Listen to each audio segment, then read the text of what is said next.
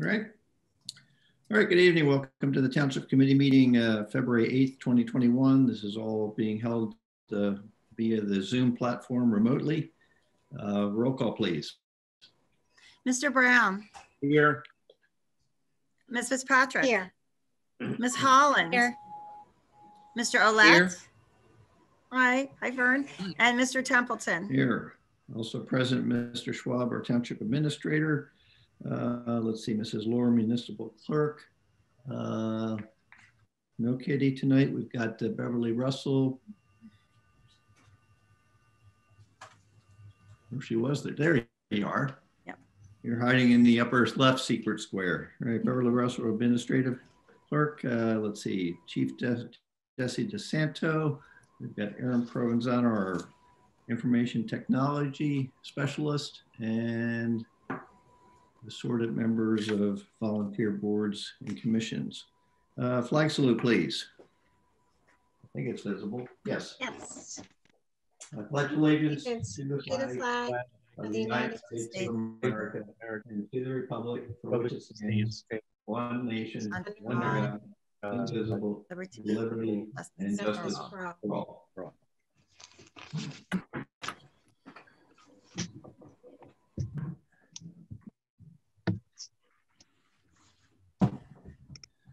Right, sunshine statement, Mrs. Lohr. Please be advised that proper notice of this meeting has been given in compliance with the Open Public Meetings Act in the following manner.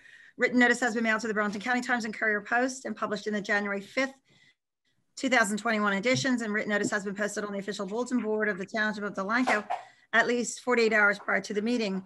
Remote meeting statement. um, The uh, Zoom meeting platform is being used for this meeting with the meeting ID and passcode published on our website and posted on our bulletin board and the front door as required um, under executive order.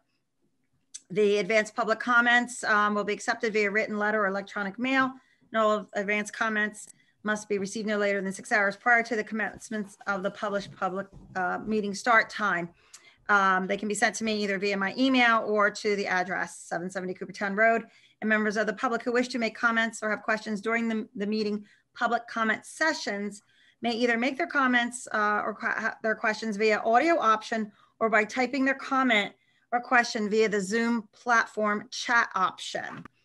Um, and then um, the agenda for this remote meeting is available on the Delanco Township website uh, at delancotownship.com under the agenda tab. And for the pur- purpose of um, the public, advanced public notice, Mayor uh, and committee, I did not receive any advanced public comments or questions for this meeting. We did receive additional information for the budget presentation from, um, I believe, HPAB. Yes. And um, later on, I'll enter a piece of correspondence received from the recreation chair, but that's not, that's not an advanced public comment. That'll be entered as correspondence Okay, very good. uh, between, between the agencies. Thank you. All right, uh, we've got a very short uh, uh, business meeting tonight, couple of consent agenda items, and then we'll uh, have the correspondence item that Mrs. Lohr talked about, and then we'll go into a hearing from our respective uh, uh, boards and commissions uh, that are uh, managed and run and planned by our, our volunteers in the community. So at this time, I'd like to open the meeting to the public for comments and questions uh, at this time. If you have a question, comment, state your name, uh, address, and uh, we're all, all ears. And the public is reminded, if you do have a comment or question, uh, if you would like to use the audio format, please unmute yourself, or you may type your question into the chat function. Go to chat. Where is the chat? All right, hearing no comments and seeing no hands raised, I'll close this portion of the uh, public comment session. Uh, Consent agenda items are considered uh, to be routine and will be enacted in a single motion. Any item requiring discussion will be removed from the consent agenda. All consent ag- agenda items will be reflected in full in the minutes. Are there any items the committee member would like to see removed from the consent or any detailed questions regarding any of those items? Uh, the first resolution, two thousand twenty-one forty-one, Mhm. there is no Oakland Avenue in Delanco. Uh, that gentleman's check says Oakland Avenue, Summerdale. So if he has a Delanco residence, uh, I hope we change that resolution because we have it sending to him at Oakland Avenue in Delanco. Oh, Deli, okay, no, that's not, that's my His typo. says Summerdale. It's gotta go, it's gotta go to Summerdale. I'll change, I'll fix that resolution. Okay, okay. but if he's, if he's a resident of Delanco, uh, registering his dog, does he have a Delanco address? probably paying on behalf of someone else. Oh, in okay. Blanco. We have to send the check to the person that submitted the payment. And Okay. and that's where it has to go is the, uh, what's on record on the check. But I will fix that resolution. Okay, um, And uh, accordingly, thank you. Good catch. and the other resolution, I was just wondering, is that project finally done? Uh, 42? that's, the- the seawalls, are they done? I think Richard can comment. I think there's a retainer being held back. Correct, yeah, this, Okay. you know, that, they still haven't done, done a couple of the things. And there's still the two percent retention, which is several thousand dollars. Okay, But that's just to make sure those things are done. There's no more, there'll be no more change orders. So we now know what the Okay. total is. We just won't pay him the final amount until he does this final couple things that he has to do. okay, thank you. And in that reduction, where does that money go? Uh, into our surplus? No, the reduction, uh, re, uh, gives us a balance in the capital capital. account. Eventually, we will cancel that and use that to pay off the debt. It'll go into a reserve for debt service. Very good. Good. Thank you. Good. All right, resolution 2021-41, refund of overpayment for a dog license. Uh, resolution dash forty-two, authorizing change order number one for the street end seawall repair project. Uh, resolution uh, dash forty-three, resolution of the committee of the township of Delanco County of Burlington, New Jersey, authorizing the appointment of a special law enforcement officer, police. Uh, payment of bills, account current fund, uh, seventy-eight thousand, three hundred ninety-three dollars, twenty-four cents, payroll, forty-three thousand, four hundred thirty-nine dollars, fifty-one cents, capital fund, seventeen thousand, ninety-six dollars and ten cents, escrow trust, uh, three thousand, seven hundred five dollars even, municipal open space, four hundred eighty-six dollars even, and approval of minutes, uh, January eleventh, twenty twenty-one. Uh, motion to approve the consent agenda, please. So moved. Second.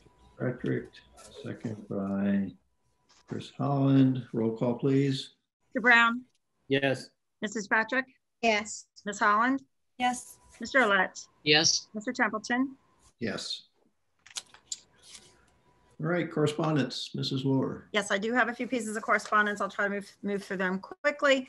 Uh, the first thing though is an email I received. It's just, um, interagency though. Um, but I don't want to wait till the March 1st meeting. We're looking, the John is having, looking to have community cleanup day at the Public Works Garage on Saturday, April 10th. Okay. And um, with that, we'd like to also have another shredding event for the residents. It's been very successful. Um, we, uh, as a township, also have many things that are beyond retention. We have approval for uh, disposal. So we would like the township committee's approval to run another uh, spreading, uh, sh- shredding event in the spring uh, on the same day as the cleanup day on April 10th. sounds good. It's, they've been, we've had two and they've been, both been very successful. I have a box already. Yeah. I'm hearing that, we're hearing that from a lot of residents. When's our next one? When's our next one? Yeah. Yeah. Are you all good with that? I'm good. Yeah. All in favor? Aye. Aye. And then um, we're also looking at the spring townwide yard sale, the, let's, uh, the last Saturday in April. So um, we'll uh, start working on that and see what uh, other groups will be participating, um, fire, EMS, scouts, things like that. Um, so that's that. That's the 24th. The 24th for the spring townwide yard sale. COVID-free, I hope. Hopefully. Hopefully. The next piece of correspondence that uh, we received, um, and everyone did get a copy as well as our solicitor, is that we received a letter from Michael Floyd of Dolan Contractors. They received their uh, County Planning Board conditional site plan approval. And part of that uh, conditional approval, approval is requesting that the township adopt an ordinance prohibiting the tractor trailer vehicles to make a right-hand turn out of the site head- uh, heading towards the center of town. So um, I wanted to get that on the record as being received. Uh, Again, um, Doug does have that. Uh, So if um, everyone's okay with that, we can and um, have Doug uh, do that ordinance. Or if you want to schedule it as a discussion item, Yeah, I think maybe it should be a discussion item. I was talking to uh, the chief about it and we have to talk to our engineer about exactly how that uh, exit is going to be laid out out and Yep. what the enforcement is, whether uh, the Yep. police can enforce a turn off of a private property and how that's done. We don't have that in our books yet. So we may have that ready for your March 1st or March 8th meeting. I don't think it's a, something has to be done ASAP. okay, so we'll list that as a discussion item for three one when um, Doug and uh, Harry are here. Um, We received an email from the Shade Tree Commission, Secretary Ms. Flanagan, requesting that um, Dr. John Paye be moved from alternate two to the full voting member to fill a vacancy um, that was created by uh, Dave Atkinson's resignation back in um, July of 2020. And Mr. Paye was recently voted in as the chairman of the Shade Tree Commission. So they would like to make him a full voting member um, by um, appointing him to uh, Dave Atkinson's unexpired term. So we received that. We also received an email from the chairman of the Delanco Recreation Commission uh, requesting that um, Ms. De La Pena, Alyssa De La Pena, be um, moved into the unexpired term of Jack Haynes. Uh, she's currently alternate number one. Mr. Haynes has, I've been notified that he has moved out of, Delan- from Delanco so that uh, his, his position is vacated. So they would like to move Alyssa De La Pena from alternate one into his uh, unexpired term as a full voting member and also uh, move uh, Ms. Perlmutter, Amber Perlmutter from alternate two to alternate one. And that is the correspondence. And those, um, those actions you can do tonight. We can, or you can have them scheduled for March 1st. It is the committee's, at the committee's pleasure. Want to just list those as, as consent items, just to- so it's on the record, published record uh, for March sir. 1st. Certainly do that tonight if you're ready. Yeah, I don't know why we wouldn't do it tonight since they're just replacing people who have resigned or moved out of town. Any other comment on that, John, Chris, Vern? Can we just motion to approve those uh, appointment Yes. upgrades? Or you can. Yes, I would. Okay, Uh, that- and a motion then. A roundabout way of making that motion. Yes, I'll make the motion. You second it. Okay. I'll second it. Make a, I make a motion that we um, appoint uh, Dr. John Paye. I'm Pa- not sure if it's Paye. Paye or Paye. Paye, uh, as He's the, smiling, so um, you must be close. as a voting position, as a voting position on Shade Tree. And also move Alyssa De La Pena as a voting position on Recreation. Move Amber up to alternate number one. Mhm. We need a voter roll, uh, A roll call would be appropriate. roll call, please. Mr. Brown. Yes. Ms. Fitzpatrick. Yes. Ms. Holland. Yes. Mr. Yes. Olet. And Mr. Templeton. Yes. Thank you for your service.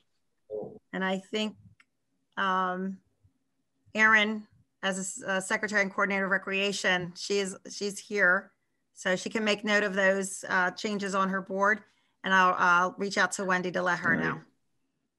Any other correspondence? That's it for correspondence. All right. Thank you. All right, uh, 2021. Mike, please. please. Mike, before you move into the budget, I just think that this should be on the record so everybody hears it. I did speak with Joe Brickley um, last week, and uh, the contractor has received the key to start the demolition uh, project at the Burlington Avenue uh, building. The? Uh, the first item that we'll be doing is removing asbestos, which will probably take about 12 days. And uh, Jesse, I'm sure they're going to be in contact with you because once that demolition starts, they're going to have to detour traffic. Um, so um, look forward to hearing from Joe Brickley or, or Steve. I can't remember what Steve's last name is, but that's happening. Um, the history board wanted to try to get a walkthrough, but they're uh, it's gutted. The building is gutted, and um, there's nothing of any value in it, and it's a safety issue with the asbestos uh, the county's concerned about. So there will be no walkthrough. So I just wanted that to be on the record that that should be happening soon. Good, good. Appreciate uh, tracking that down and, and following up on that. Thank you. Any other questions of, of Kate uh, regarding that, that matter that she can fill in there? All right. All right, uh, 2021 municipal budget preparation. Uh, start off with, uh, now is this still the correct order, uh, Mrs. Moore, History Board and Shade Tree to start off? Yes. All right, and let's see, History Board. Uh, let's see, I see Mr. Fritz there. I see Dr. Payet. And if I could, uh, off there. if I could start with a statement, um, I uh, made an effort to try to get you an update this afternoon, and I have a copy of it in front of me, um, and uh, realized I didn't carry all the figures through. Um, are you all looking at a copy of our um, proposal for this year? Yes. And um, the the uh, most current version would be 2.8 uh, of this year. And the only thing that's really changed is that when we submitted this uh, back in December, uh, it's been our habit to include a financial report for the previous year. And we didn't have complete numbers for the, for the, the year at that time. We had a number of projects that were in the pipeline we weren't sure whether they were going to be um, finished uh, before the end of the year, whether they needed to be carried over. Um, and um, we're happy to report that they were all completed, delivered, billed, and paid in December. So I can give you um, the, the corrected figure then for our actuals for 220. So if you go down the, um, the column, the report that, uh, that we got from the township is that we actually spent $1,227 and 49 cents um, uh, in expenses for the year. And uh, that included all the projects that we thought might be accrued into next year. So that it cleans things up for us. Um, we had a $2,000 um, approval. We, we spent uh, 1200 what, $27. Uh, it doesn't affect our budget request for this year. It's just a little bit cleaner and uh, wanted to make sure you had that.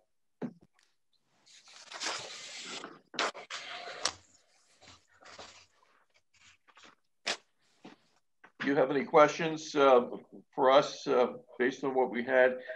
There's one paragraph on the on the first page that indicates something about uh, end of the year projects and uh, accruals and things and that no longer applies since that they all got taken care of last year. So it looks like so the actual it looks like you're actually yes, asking for less this year than you did last year. Last year you asked for 2,500 and this year you're asking. Well, okay, uh, I, I, see where you're going. Uh, last year we um, were expecting that we were going to be spending $2,500, but we also expected that we were going to get a $500 underwrite for one of our projects, which would have mean, meant that we were really asking for $2,000, which is the, the bottom line on that second column. Uh, and so we asked for uh, 2,000, we spent um, uh, 1,227, and we're asking for the same amount this year. Um, but we don't know what's going to happen with events. We, uh, this, we just don't know with the COVID, and it, it uh, kind of killed us this this uh, past year uh, because we couldn't do a lot of the, the things that we had planned. So. Well, it looks like most of the items that you're requesting money for are signage and, and things like that that really don't require events. Eventually, you can have those events held later, but I, I don't think it- we're gonna hold, you want to be held up on actually purchasing the signs, right? Uh, yes, I think this is probably going to be a signage year for us. Um, our, um, special events that we have really don't cost us very much. Um, you know, even if we have a, a public event at the township building, you know, we might put out a little something for hospitality, but they usually don't really cost us much. Uh, the parades don't cost us anything. Farm fair doesn't cost us anything really. So, um, I think it's just going to be uh, pretty much a signage year this year. Any other questions for uh, history? All right. Well done. Thank you. Thanks for the good work Okay. on so many different Thank things. you all. Thank you. Uh, Shade Tree. Here I am. I'm here. Hi, good evening. Hi, everybody. Bill. Hi, Bill. Hi, Kate, John, Hey, Bill. Kristen. Hey. Well, we're asking for the same amount of money we had last year. We're just allocating it differently. I think Kevin Sibilia has shown his worth. So we're going to make him basically our town forester. Have him attend every meeting rather than every other meeting. So we bumped up the professional services a little bit. And we reduced the uh, amount we spent on removals and tree planting.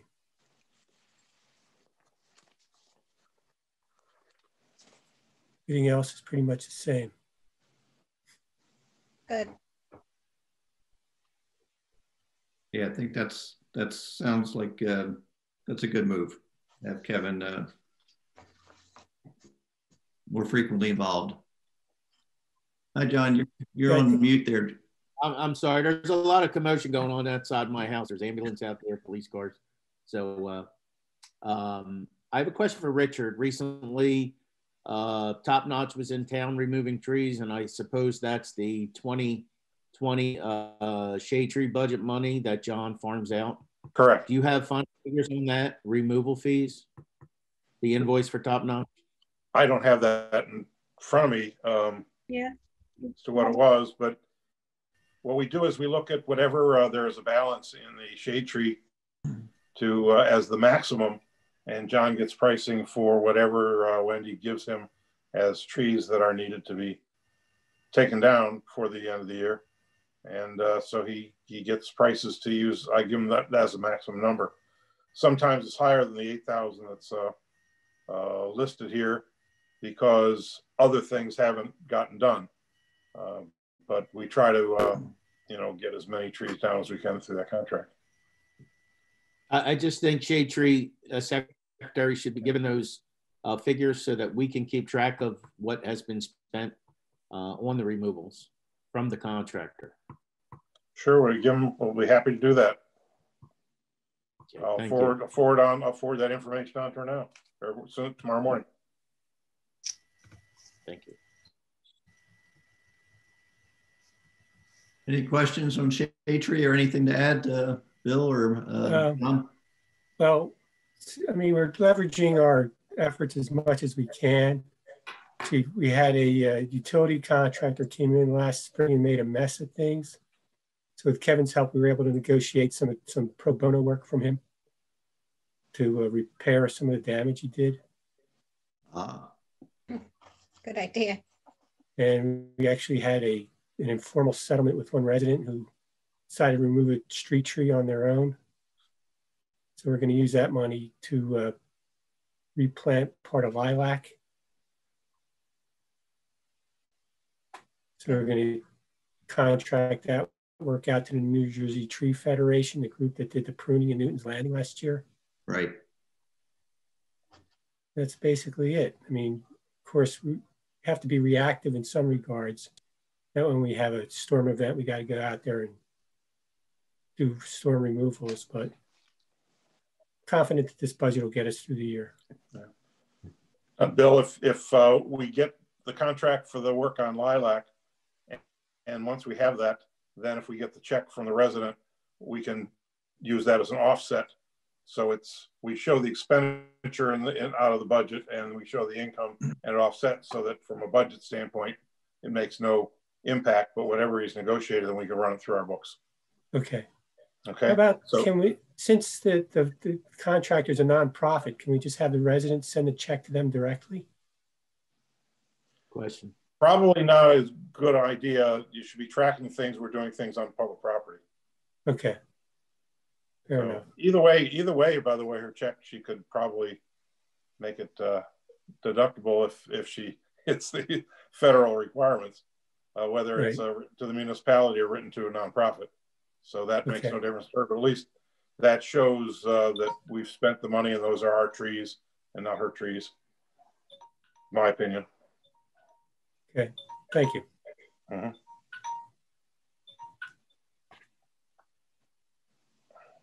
Bill, this is a little, uh, I know some time ago you were going to try to uh, work with NJ Transit to replant some of those trees at the station. Uh, that was, I know that was several months ago or back, back, back in the summer or more.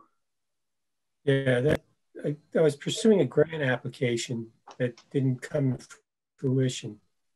Yeah. And this year I just didn't have time to resubmit it. Yeah. So keep my eye on the grants as they come through. I'll try again. Actually, we're developing a really good rapport with the New Jersey Tree Foundation. They have a good, they're good at sleuthing out grants as well. So I'm going to try and get them to help out. Yeah, anything just to uh, Yes. replace what, uh, what we've lost in disease and everything else. Uh, But uh, thank you for the great work uh, the whole Shade Tree Commission has been doing on that. Uh, It's a tough, tough job, very complicated, and you're dealing with uh, weather that's, uh, nature that's taking, the trees taking a beating. Yeah, this year we also have the uh, spotted lanternfly, which I think is going to create some mortality as well. Okay. Any other questions for uh, Shade Tree? Comments? All right. Uh, anything else, Bill? That's it. Thanks. All right. Thank you. Uh, Youth Sports, Delanco Youth Sports. Anybody? We're running a little bit ahead of schedule. Uh, I see Sam's on. yeah, I see Sam there. Yeah, I'm here. Matt was going to join us. I'm actually joining you from West Virginia. So, Ah, Nice. they, they have internet down there. yeah, there's some guy out there pedaling a bike to keep it going. That's fine. Do you want to? Uh, are you, do you want to start in, or do you want to wait till he comes online and we can move on to? You know what? Um, I'd probably prefer to wait for Matt to come online because he has all the numbers in front of him. I unfortunately don't since I'm down here. All right. And he's got uh, his part of EMS too. So, But Yeah. I think EMS is on. Amy Johnson and Amy Hollings are on. all right. All right. We can start with uh, emergency managed emergency EMS squad. Uh, where are they? There they are. Amy and Amy. I'm here. Hello. Amy.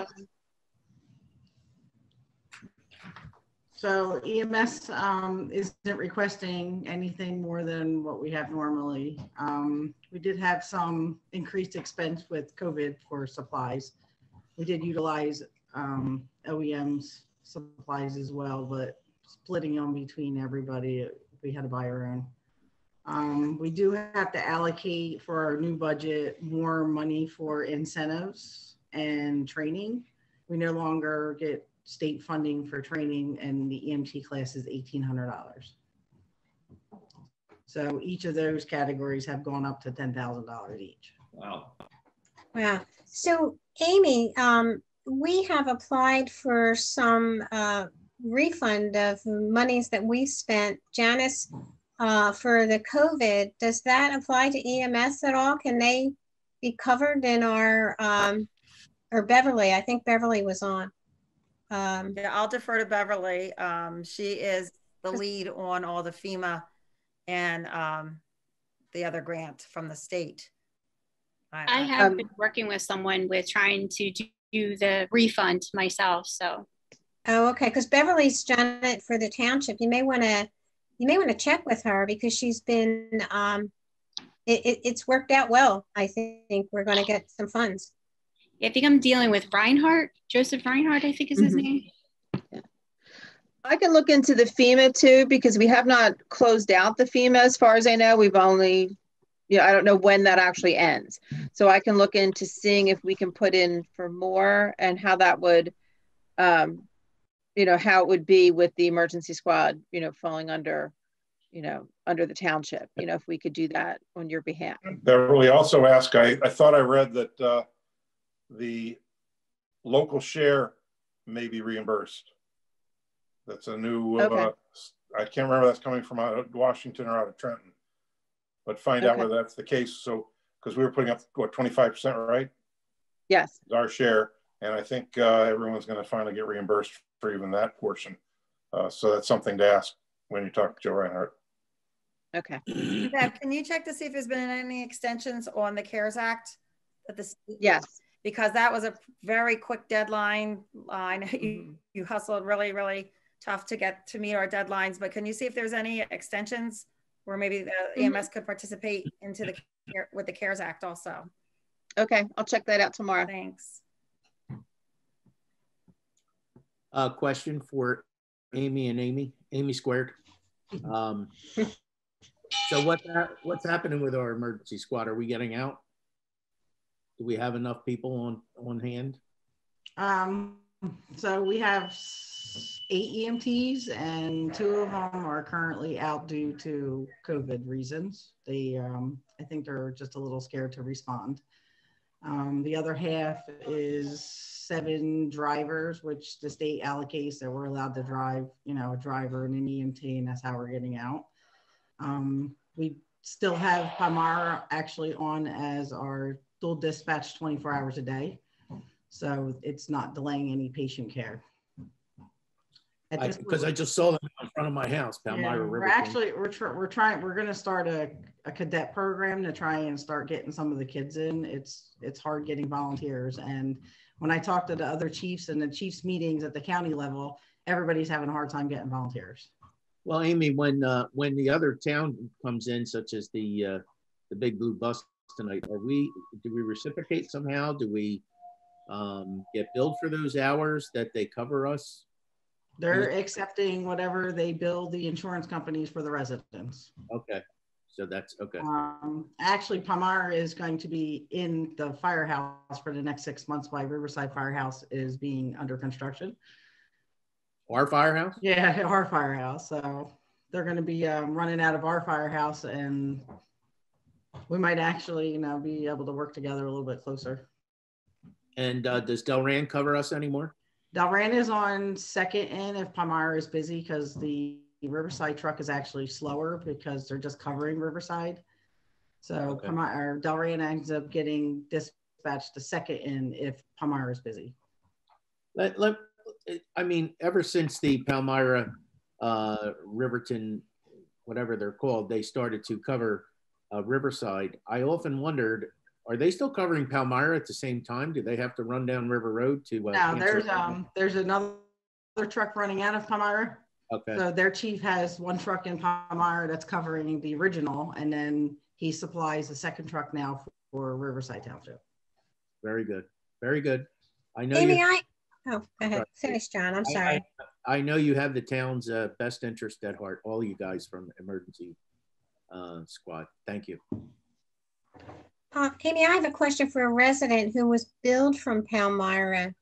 Um, since you said that Palmyra takes with their insurance, maybe that resident needs to submit it to her insurance first before she pays the bill? Is that the, is that the process or do you know? Um, I'm not sure. The, usually it's, it goes right to the insurance company. Um, she can actually, if you can, somebody give her my number, I can probably transfer her to somebody who would be able to help her. Okay, if anybody knows it. Um, sometimes it goes right to the insurance company. Also, if it's an ALS bill, they're responsible for the virtual bill. Okay. I know the squad wise, it's, it's, they send three and then you can, it, it- they just disappear. okay, The virtual though, you must, they, they want their money. right. Okay, I'll let her know. Thank you.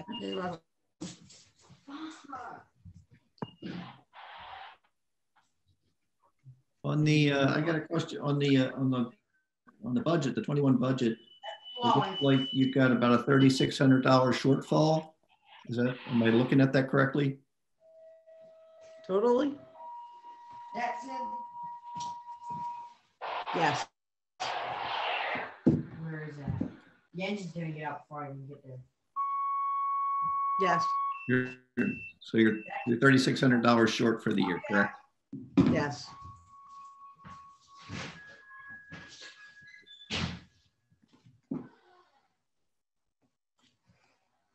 I want to hear the call. He's gone. He's out the door. Ah.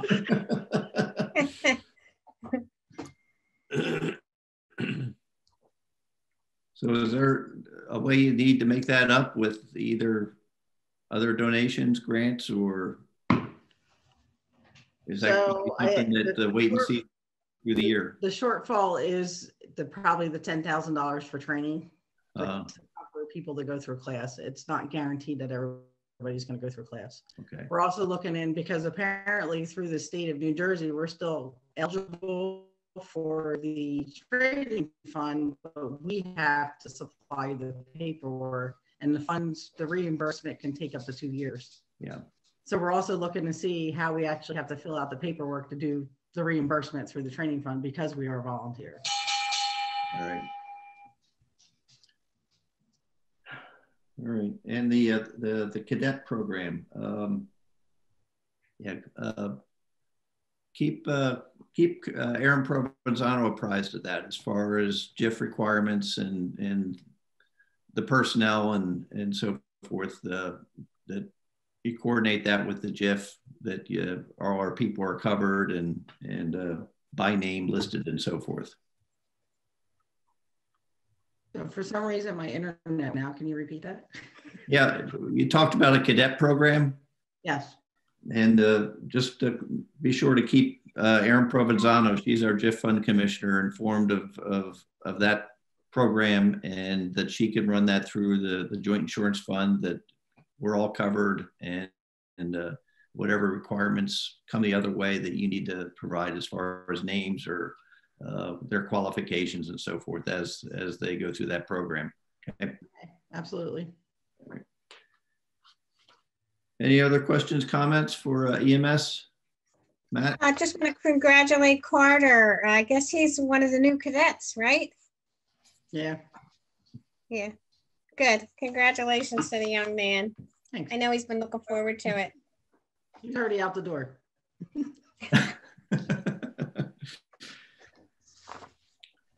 All right. Uh, Nobody from emergency management. I'll see uh, Terry Hamlin. All right, we'll double back. Dysa? So it, look, Hey, Mike, I'm it looks like Matt's on. Yeah. Sam's here also. Yep. All right. Dysa? Just switch uh, budgets here.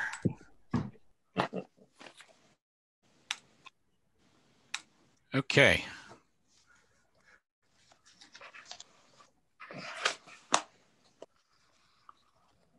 So we're pretty much, uh, Matt, we're not asking for any more than we've asked for in years previous, correct? Correct. We have uh, $6,000 down uh, for municipal grant, which I think has been consistent with the previous years. And- And how did we finish uh, 2020? 2020, we are uh, actually we were ahead by $1,300. Uh, most of that came because of our uh, basketball. I'm sorry, our uh, yeah, our basketball program was cut, so we didn't have a lot, a lot of loss on that. Basketball, we usually uh, don't make much profit on at all. So with basketball not being able to happen due to COVID, we ended up in the positive on that.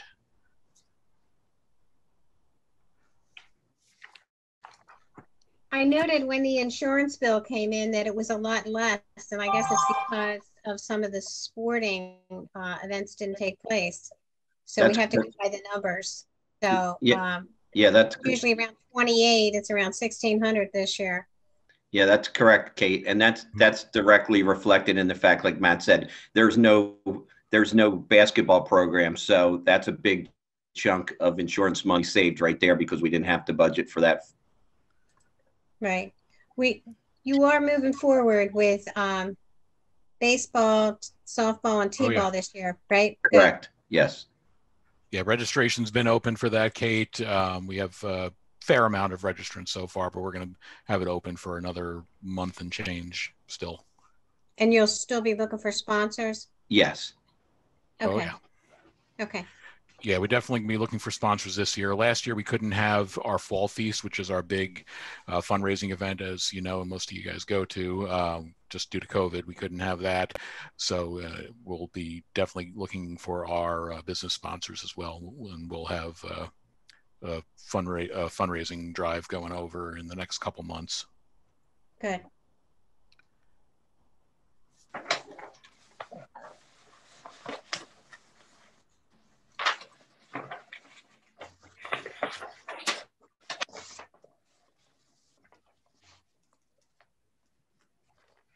You have any questions on the budget that we had submitted? Excuse me. No, I'm good. Now, as far as the, uh, the, the the insurance, are you still planning, um, whatever happens through this COVID year coming up, uh, counting on a lesser expense in that or counting on a refund there or what's, what's, what's your? We, uh, we just resubmitted our policy runs from February through February. So it's February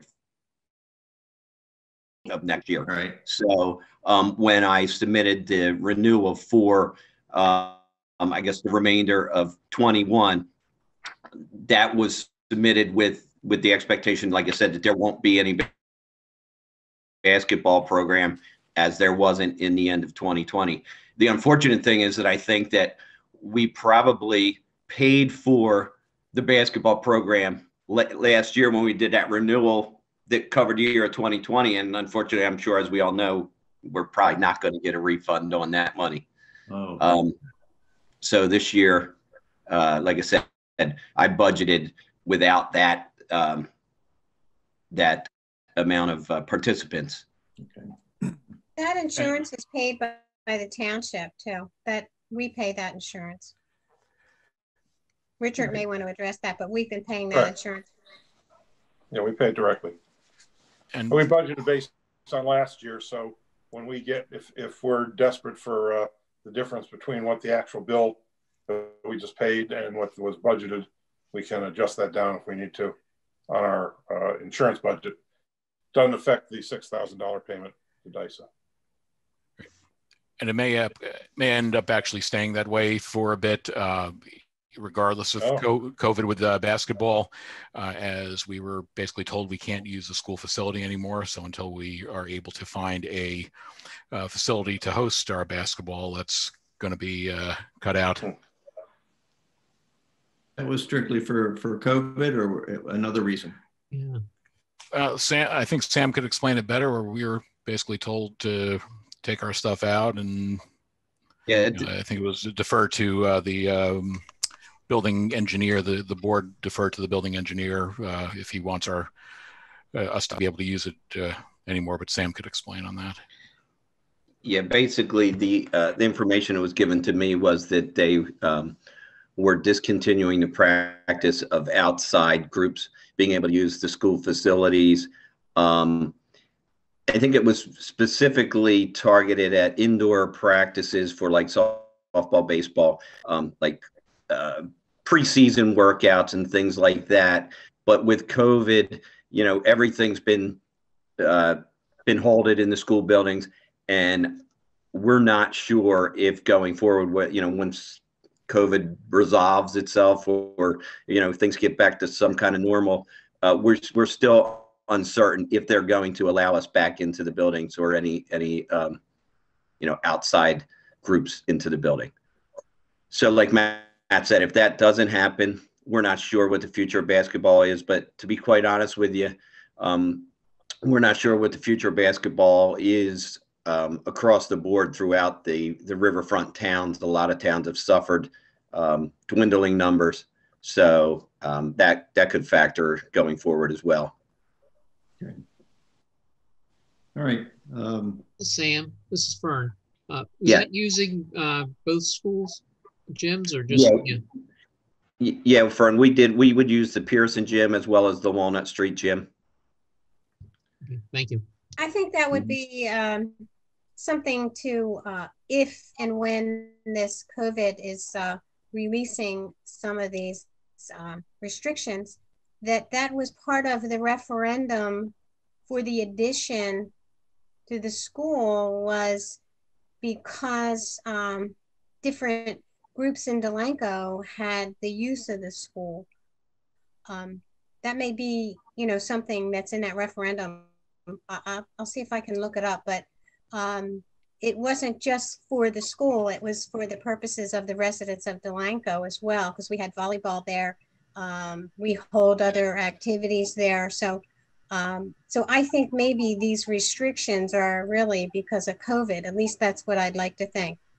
But I'll, I'll look into that. Then we can bring that back to the school board. We Yeah. Raise the question with them. Definitely.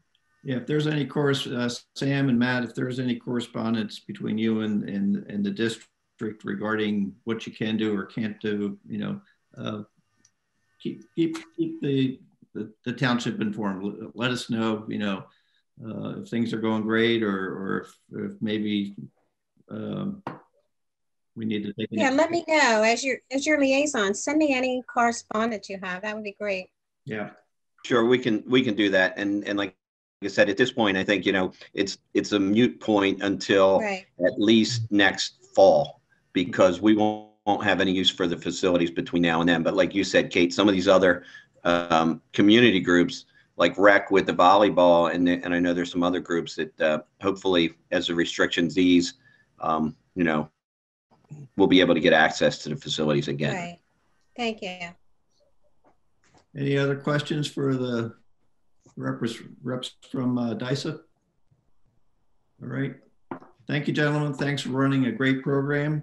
Uh, Really uh, professional job and uh, thank you for all the, the long, long hours that uh, nobody sees that you put into this. So thank you. Thank you for your support. Thank you, Mike. Thanks, Kate. Everyone else. Uh, let's see. Library board. I see this is Mrs. Bradcliffe and who else is there? I'm here. There you are. I expect Mr. Lord to be joining us. I don't see him on. It the shows him Hollywood connect. I just texted him. I just let him in. He's uh, muted right now. Beautiful. Okay. He's in the parking lot. Good evening, everybody. There he is. Hi, Tom. Tom. You're on. Go ahead. All right. Um, it's nice to see everybody in this strange format, but it's very nice. Uh, the township library is not requesting any further increase this year. We'd like our funding kept at the 2020 level if we can. Uh, we, I have a few highlights to share. First is that our, we're very proud that we kept the library running with a broad range of services throughout the COVID emergency thus far. Um, there have been 7,721 items checked out of our library and 2,600 in attendance. And I just want to highlight, you know, we all know that we love books. Obviously, I do. But um, the library is way more than books. So I'd like to highlight a few things that I know have happened up there to help people during this emergency. One was that a patron came in and she was trying to apply for disability and had no way to do that. So the library helped her to fill out her paperwork and apply for disability. Another patron came in and she was using the screen on her phone to apply for housing. So um, the staff was able to get her on a computer, find the form she needed, help her fill it out, print it, scan it, and send it back. Um, they've helped a lot of different patrons with DMV issues. As you may know, you're able to do a lot of your DMV transactions online during this time. But if you don't have access to computers or you're not real savvy, that's not really helpful, but the staff at the library has been. Uh, they certainly have pivoted on the delivery of services. When everything was shut down tight, they provided home delivery for the, the patrons that called and requested it. They actually drove books to their homes. Um, they've provided parking lot pickup, browsing by appointment only. And as of March, they're moving to browsing with just a call ahead because we are limited in numbers. So we want to make sure that someone doesn't walk all the way up the walk and find out they have to stand out in the cold. So we're just asking that people will call ahead. They establish a puzzle loan program. So if you had nothing to do at home, you could check out a puzzle and take it home and put it on your dining room table.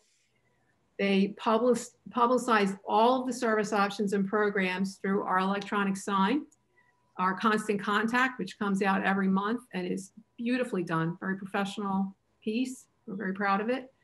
Uh, we also send things out through the Township Blast, thanks to Beverly. Things go out into the Beverly Bee through Rick Trout, and Katrina maintains our social media accounts. Uh, during the uh, COVID emergency, we've done a lot of things on Zoom. Um, one of the things that a good thing that's happened is that the state library has allowed all the libraries in the state of New Jersey to have Zoom accounts that, for their use. So that's been very helpful. We're hosting all of our regular groups. So the book club meets, the fiber arts meets. Um, of course, no gathering in the building, but the staff has prepared story time videos every week. There are stories for school age children every week. There are things that you can pick up that are um, uh, books and a craft that you can do with your child at home. They've offered a lot of different kinds of programming. This month we have some things for financial literacy. There was just one on Medicaid, Medicare, sorry. Um, we had two special book club meetings. One was with an author who happens to live in Newton's Landing, which was lovely. And the second really was brought about by Katrina. She was on social media and someone had said that she wished that she could think of a book to recommend for her book club. And Katrina recommended a book. The author chimed in from her home in New England and said, thanks so much for for plugging my book and she offered to attend the readers book club and Katrina was able to get her to attend ours as well. So it was wonderful. If we had had to pay for that program, she was a professional professor up in New England. She had done all this research on the Holocaust. Um, it was a wonderful program. Uh, Katrina also took the initiative to take advantage of Zoom. So, um, you know, we're limited in space in the library anyway, but she's offering a program on jazz and the civil rights era in March. And it's a paid program. We don't do very many of those. Most of the things that we offer are offered by the graces of volunteers in our community. But this one was a paid program. So Katrina negotiated the rate to a very reasonable rate and then invited other libraries to join. So we have three libraries that will be um, co-hosting this event we were able to cut the cost into it, our share is a third. And we're able to offer that to all our residents. So that's one of the advantages of Zoom. Uh, I know Katrina has also hosted the Delanco seniors on Zoom yeah. through the library's account. And um, I, I'm sure that you know that she's actually not working when that happens. So she's doing that as a volunteer, uh, one of the, another service to the community. Um, we were closed for a brief period and the staff did require continuing ed hours. They explored grant opportunities at home and they did some you know, professional activities that they need to do that often they don't have time to do when the library is operating. We uh, continue with our fundraising. Um, though it seems like 300 years ago now in 2020, March, we completed our sign project, uh, six years in the making, so that was a big deal we decided that having an annual appeal in April was a lot to ask when things were so very difficult. So we held off till September and we did a targeted annual appeal. We had a overwhelmingly terrific response. People clearly love their library, so that was excellent. We had a Zoom tea. Kate, I know you were able to attend that. Yeah, uh, and we great. just got word that we uh, received a grant that I applied for in July. Uh, it's called SafeNet and it will enable um, us to purchase some, uh, some combination of laptop or tablet so that when we're able to open more fully, we'll like be able to space patrons who'd like to use the internet throughout the library so they're not stuck side by side in a little room. So $1,000 from investors, we're really pleased with that. And thanks to Chris Holland, we'll be hosting our uh, first hopefully our first of many. Uh, River Run for Reading to be held in April as a virtual event. So people have a week to run whenever they'd like. And there are prizes and all of that. And it's a fundraiser. So there's some, just some highlights from our year. Great job, the library. I have always thought they've done a great job, but each year it just the, the improvements are just incredible what you do and the programs you offer. I actually saw Heather reading the story on squirrels. Um, I thought it was really cute. She does a nice job. Mm-hmm. Um, I have a question for Tom since he submits the budget. Um, I noticed the budget is, it doesn't have actual, it just has the budget amount. Um, I don't know if there is, do you keep a running amount of what you actually spend? Because we only get, it looks like it's just the budget, unless I'm misreading it, Tom. Nope, I'll send it to uh, to you and Richard and everybody in 10 minutes. oh, okay. Because usually we receive both, like, Yeah. you know, uh, what you spent last year, and what you asked for, and then just just for Yep. our records. But uh, great job, the library. I've always been a great supporter of that, and uh, we'll continue. It's much appreciated. Any other questions Any- for the library of volunteers and staff? All right, thank you so much. Thanks for uh, holding um, What's holding the, uh, together uh, during this yeah, during this COVID year, this year of lemons. Right. John, did you have a question? yeah, what is, what is the total budget amount? My papers are all messed up here. That you're asking for.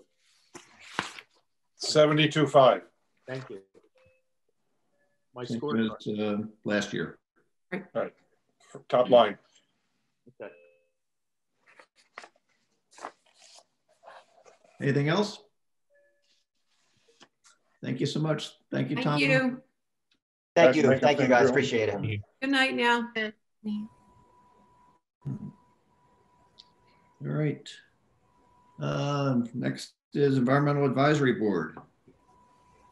Way ahead of schedule. Hi, everyone. Hi, Amber. Alrighty. So would you just like me to go through um, our 2021 requests, or do you want me to do a summary of 2020 or both, or? Take it and run with it. Okay, I'll just um, start with the 2021 um, requests. Um, so total, in total, we're asking for 1,500. Um, it's a little more than last year, but we plan on doing a lot more this year, um, especially to make up for last year. You know, we couldn't do a lot because of COVID, but it seems like that's across the board. So um, the first thing we're asking for is $550 for our pollinator projects. So as most of you know, we got a grant last year from ANJEC for $1,300 for pollinator efforts. Um, and we're going to be using all of that this year. We plan on doing a lot of plantings this year and um, permanent educational signs at um, all of our locations, but the signs are a little more than we thought they would be. So um, if and when we run out of our grant money, we would like to tap into some of our budget money from the township. Um, so that's mainly what that is for, for the pollinator projects. Um, the next thing is, you know, just simple like promotional items like t-shirts. We want to have a lot of cleanups this year. And so we want to be able to provide our volunteers with t-shirts to kind of, you know, make a cohesive team when we're out there picking up litter. Um, the next, and that's $150 about requested. The next item is cleanup days. We're requesting $200 for that. And that is for materials like gloves, bags, um, as well as refreshments for the volunteers. Kind of morale booster when we're done. The next thing is Community Day, um, and we're requesting $125 for that. We usually do like kind of an environment environmentally related theme each year, and we like to do a giveaway. One year we did um, reusable canvas bags. Another year we did um, reusable water bottles. So hopefully there's a community day this year and we'll get to hand out something else to all of the residents this year. Our next request is ANJEC member dues for 2021, which comes to $375.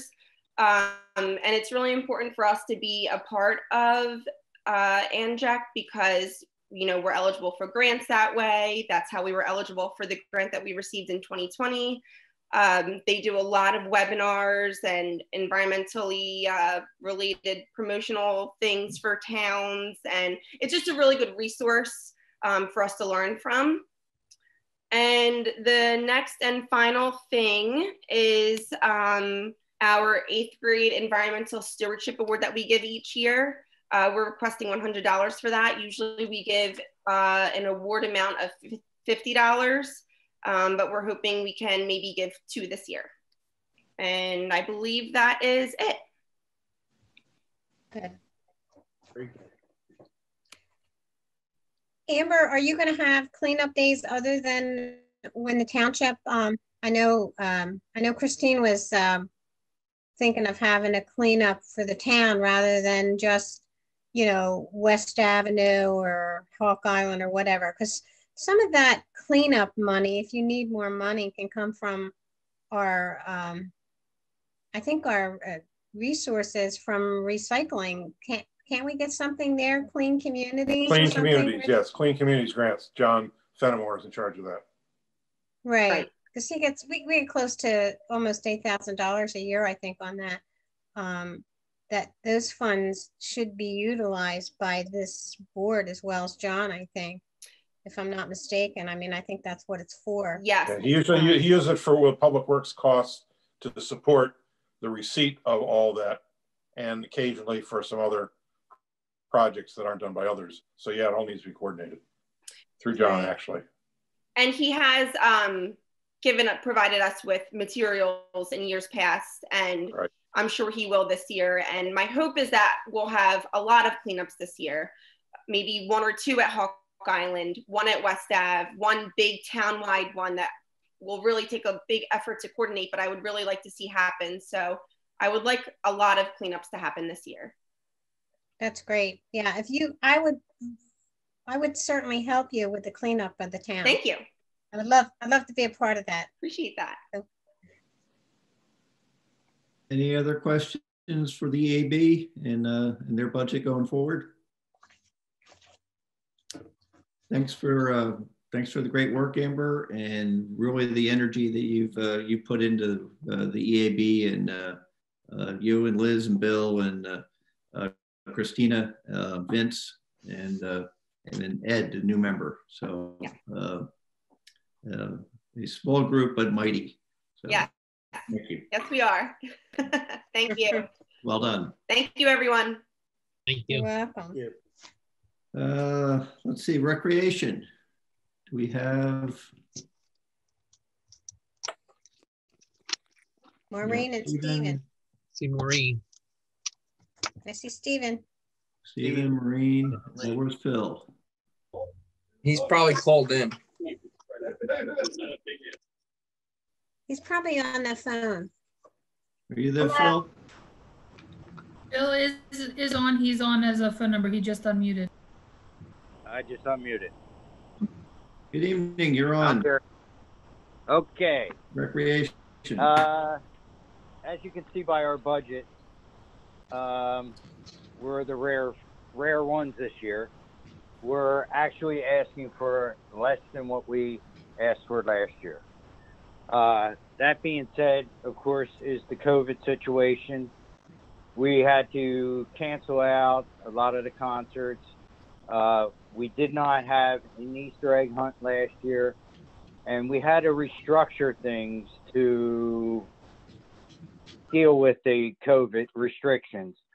Um, one of the things we did this year is we handed out the gingerbread house. We had a drive up pickup for registered people. Uh, we also did something different with the drive-in movie this time. Uh, that would be showing your major cost, major increase on um, the event part of that one.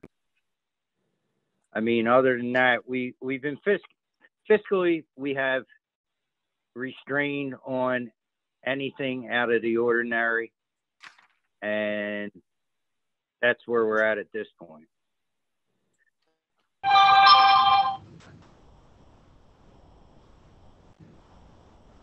I'll just quickly um, cover some of the main points that Phil Phil already said. Um, as Phil mentioned, uh, we looked at our budget. Obviously, a lot of our events had to be canceled in 2020. Um, therefore, it allowed us to ask for um, substantially less than we received last year. Um, we always give the township committee our operating account balance um, to be transparent and then we show our reserve and then our facilities fund, which is the fees that are paid by our local association and other um, athletic associations, which go into a fund that can only be used to help uh, maintain our, our athletic facilities. Um, so some ex- changes to our expenses.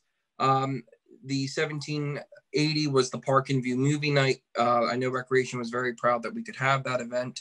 Um, you know, we were able to provide uh, some sort of recreational program for our residents during the year. We had still a couple summer concerts.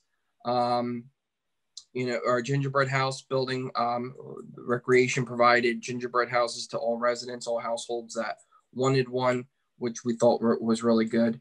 Um, Easter egg hunt, just because Phil said we didn't have it, which we didn't, we still had, we had already ordered the eggs. So if you, if you, if you see that, that expense, of 528 for Easter egg hunt. That's that's why um, COVID kind of hit February, March, and the eggs were already ordered, and we had to pay for them. Um, I gave you the 2019 proposed and actual because 2020 really doesn't reflect um, a full operational year. Doesn't show all of our expenses. 2019, I think, gives a, a much clearer picture of what our normal operation budget is. Um, uh, uh, nature park activities that was another thing um, in our budget uh, that we did we really haven't had before um, we have some new members of recreation um, who who are very um, enthusiastic who, who really want to um, do a lot with our parks and recreation wants to support those initiatives um, so we we took uh, we, we put some money in our budget to ac- accommodate for those uh, for those initiatives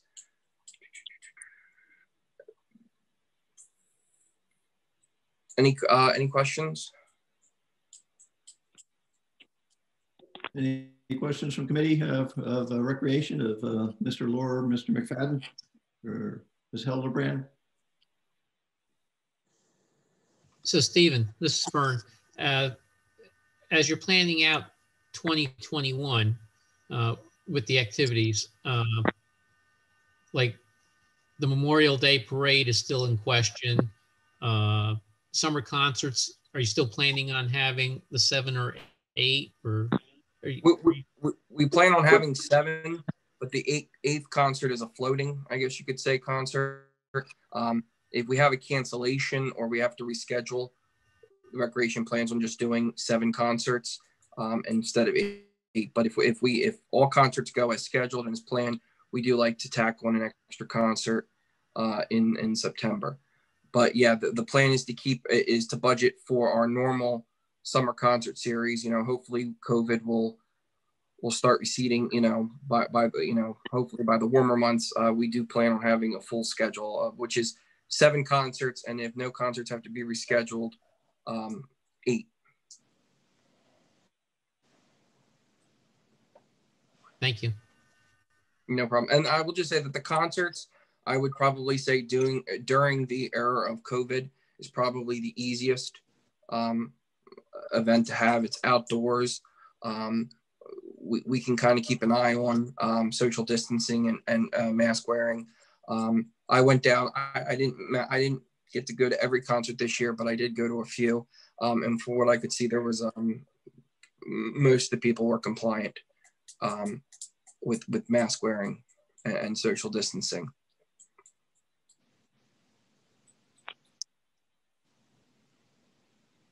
Um, Stephen, for the, for the record, could you tell us the, um, the amount that is less than what you normally would have asked for? So that, you know, we know that.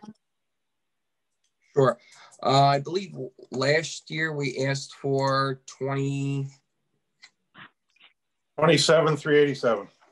yeah, I was gonna say, I knew it was around 28,000, 27, 387. Okay.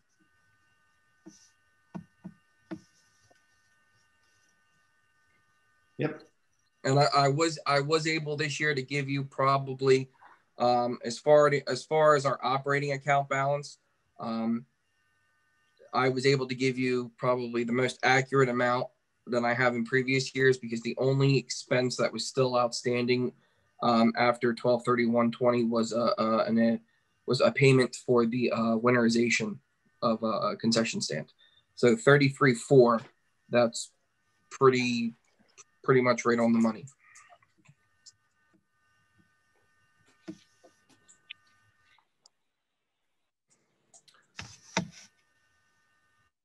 Any questions? Anything else? Anything to add? comment. Steve, really looks. Go ahead, John. I'm sorry, uh, Brown here. Uh, after uh, interviewing all the boards, really looks like the rec uh, commission really got hit the hardest with COVID, having to shut down so many programs and make so many uh, alternate changes. So uh, I commend you guys for hanging in there and trying to manage the year. Stephen, nice uh, um, presentation on the budget and your expenditure side. So um, I just I just wanted to throw that in there. Nice job and good luck this year. I think it's going to be uh, another tough year. Thank you. Stephen, Thank you, Commissioner uh, this is Fern again. Uh, with the uh, summer camp program, is there uh, any plans as far as having that move forward this year? First, again with COVID. Uh, I know that the summer camp subcommittee, uh, we're, we're hoping to meet sometime at the end of this month, if not early March at the latest, uh, to make uh, to kind of gauge where where we're going to be, because we definitely have to let Linda Guckin know soon so she can start her planning. Um, I, I really don't want to say too much more than that until I have a chance to meet with the other sub, summer camp subcommittee members and get their opinion. I don't want to speak for them, um, but I, I know that we want to meet I, I know the intent is to try to have it, but of course, if, if COVID um, is still raging, you know, I mean, I'm sure certainly that will be a factor. We don't want to put anybody, um, you know, at risk, especially our youth. And the other issue that was brought up earlier was in reference to DISA uh, not being allowed in the school. Um, that brings up the concern for the Recreation Commission because, like Kate said, we also do volleyball adults on Wednesday nights, and we also have the summer camp program for the youth. Right. Um, so we would need to find out from the school what their what Yeah. their intent is Right. on allowing outside groups to use their facility is where we're at right now. Good point, Phil. If um, Yeah. I, I guess you could say that if, if the school's not willing to allow us to use their facilities for the summer, then that kind of kind of makes the decision for us because I don't think there's another facility at this time that can hold our summer camp. Right. Well, I th- again, I think that's something we'll have to bring to the school board. Yeah, I'm gonna look, I'm gonna look into that. Um, as your liaison, I'm definitely gonna look into that and see what can be done. If the school is operating, um, I know they're doing hybrid right now, but, um, I don't think they can legally just tell us we can't use it. The COVID issue, they're removed.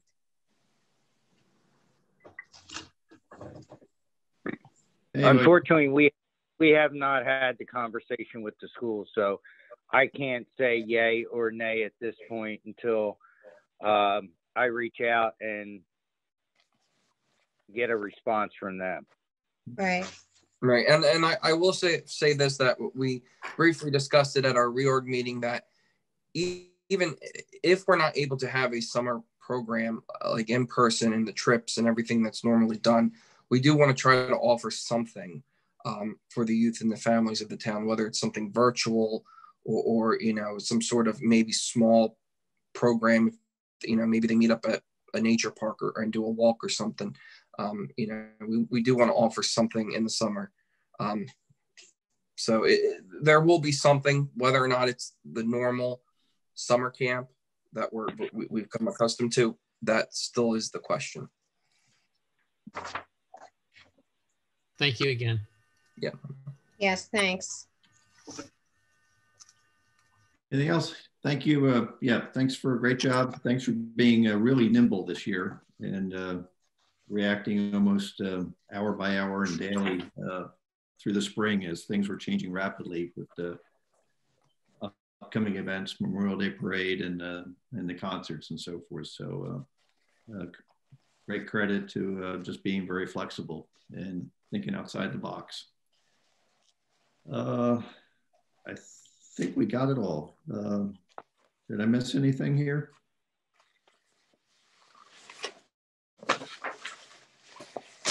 Is Terry? Did yeah. Now, I don't think she signed on, and I I was looking to see if I didn't we, hear from her. And did we get a budget? I No, we did not. Budget. Yeah, I didn't. I didn't see a budget in my packet. Yeah, so I guess to we'll have to contact her, Richard. Maybe. Yep. It's usually not a very big budget that I. Yeah, it's, it's the typical, I mean, this, as we have always said, this back and forth is generally not to determine how many dollars, because nobody's here trying to get more dollars actually or less, but it's that communication, annual communication. Yeah. There's no point in budgeting things if you don't know what it's for. And, Right. uh, yeah, so Terry will probably put the same amount before, but I'll uh, contact her and, and ask her if there's any, anything that she wants to add. Okay. Yeah, and Thank you. that that's really the key. I mean, we've got uh, several groups that uh, their activities and interest uh, cross uh, group lines and in, into um, the areas that other other uh, boards and commissions are involved in. So uh, this is a good uh, a good opportunity for everyone to hear what everyone else is dealing with. So, all right, Richard. Uh, uh, Mr. Mr. Schwab or Janice, uh, Mrs. Lord, do you have anything to close out as far as any information as far as the budget? Our next uh, workshop is in two weeks. Right. So I'll be forwarding on to you any updated numbers, particularly capital stuff, debt stuff. Uh, our auditor is going to be in this week to flesh out the financial statement. And so we'll have to get you the surplus information and the anticipated revenues. And we've got information from the assessor on the, there is an increase in the uh, due to the crossings in particular. And we have increases in the PILOT income, as uh, Doug reported to you, particularly some retroactive stuff. So uh, we'll, we'll look more on the, the revenue side and the impact uh, at the meeting on the 22nd. My guess is because everything's running later with the financial stuff, that uh, we'll be even later in introducing the budget, not because of difficulty in making decision, but in terms of having all the information we need to uh, put together. So uh, hopefully when we see each other on the screen on the 22nd, you'll have in front of you uh, a lot more uh, revenue information and some projections as to what kind of tax rates might be out there. That's an afternoon uh, workshop, uh, 3.30 on the 22nd, correct? 3.30 on the 22nd, correct. Uh, the Monday. Same Zoom station. Same Zoom station. All right. Um, anything else for the evening? Otherwise, a motion to adjourn? So move. Second. All those in favor? Aye. Aye. Well done. Thank you. Thank you. Good night, Thank everyone. you all. These guys know what they're doing. Thank you, everybody. Good night, everyone. Good night, everybody. I'll see you in the office